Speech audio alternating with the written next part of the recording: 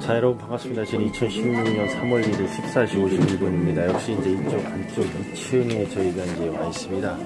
아, 이쪽에 이제 새마을 운동과 관련해 가지고 1, 2층 지상 1, 2층 이제 문화관으로 기재되어 있습니다. 그래서 이제 저희가 온 곳은 어, 이쪽 이제 새마을 운동 당시 경운기를 사용했던 모습들하고 음, 이쪽에서는 이제 그 새마을 운동 지도자의 집 해가지고 쭉 나왔던 음, 그런 모습들입니다. 그래서 어쨌든 전반적으로 이게 지금 이제 그 위치들하고 표현이 되어 있기 때문에 뭐 지상을 떠나서 쭉 한번 오시면 볼 수 있는 거고 이쪽은 이제 휴게소에서 2층으로 헬기장으로 나가는 그 모습 장소입니다. 그래서 이제 약간 이제 야외라고 보면 뭐 그런데 어쨌든 이제 과거에 탔던 이제 뭐 놀이기구 뿅뿅 그다음에 이제 헬기에서 또 석고상들을 전시를 하고 있습니다. 물론 이제 전자제품들도 있기 때문에 네, 많은 부분들이 좋고요.